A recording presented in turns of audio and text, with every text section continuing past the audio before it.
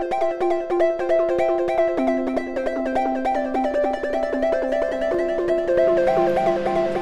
I'm Sam Evans. I work for Alstom Power Service in Stafford. I'm currently a fourth year technical apprentice and I work in the drawing office.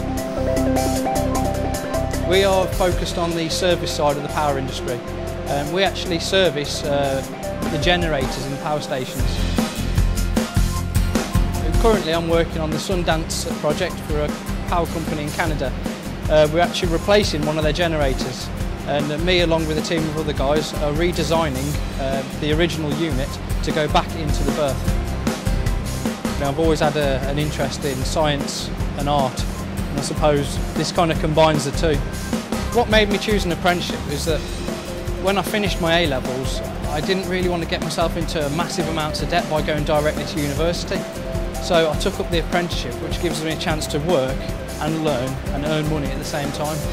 In the power industry, there's lots of there's lots of opportunity for career development. There's hundreds of different businesses just incorporated within the power sector.